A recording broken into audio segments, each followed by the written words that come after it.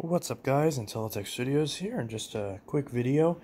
I vacuumed earlier today with the Shark Stratos, and I figured I would give the carpets a bit of a deeper clean, so I grabbed my Bissell CleanView One Pass Multicyclonic, the 9595A, that I bought quite a while ago, a couple years ago actually, and I only used it once whenever I first got it. I used it on a really messy job cleaning up a friend's trailer at the time, and I haven't really used it much since then. I cleaned it out, refurbished it.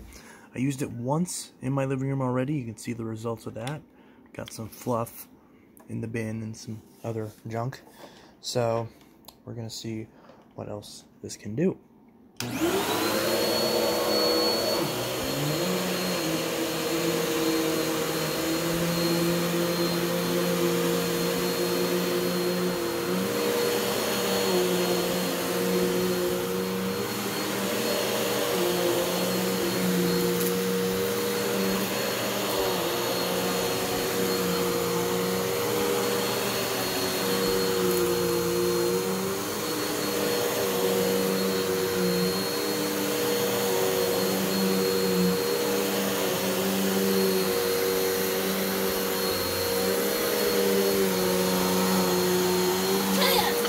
What the fuck?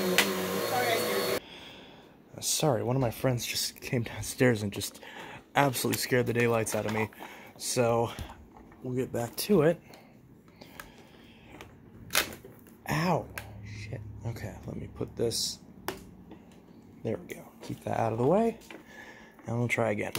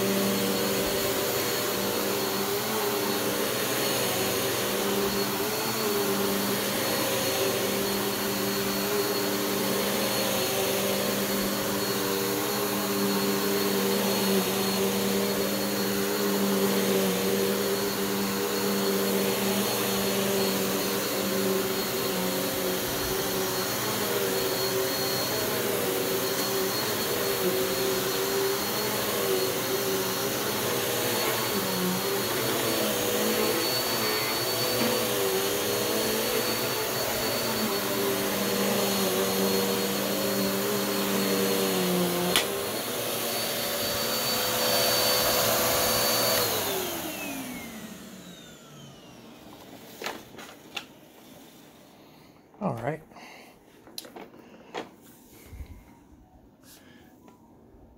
A lot more hair and fluff and junk in there. So that's all that's all good. So that's the clean view. Did a pretty good job. This is probably my favorite of the modern clean views.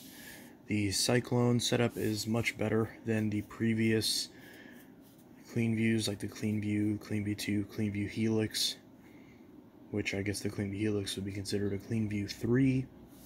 This would be like the fourth generation Clean View. And then there's the fifth generation, which is basically identical to this, but it has a larger brush roll window. It's orange usually, and it has the 8 amp motor instead of the 12. This is one of the last Bissells they produced with a 12 amp motor. I believe the actual last was the Power Groom multicyclonic. Or not multicyclonic, the uh, Power Groom bagless. Maybe that had a 10 amp? I can't remember. I think it had a 12, but it might have had a 10. I can't remember. I do have one upstairs, so I could look, but I don't feel like it. Not like it matters. They do still produce 10 amp ones under the Sanitaire and Big Green name. A lot of debris likes to get stuck up here for some reason. And let's look at the filter. Not too bad, just a little bit of dust. So overall, I'd say that did a pretty good job. I'm pretty satisfied with that result.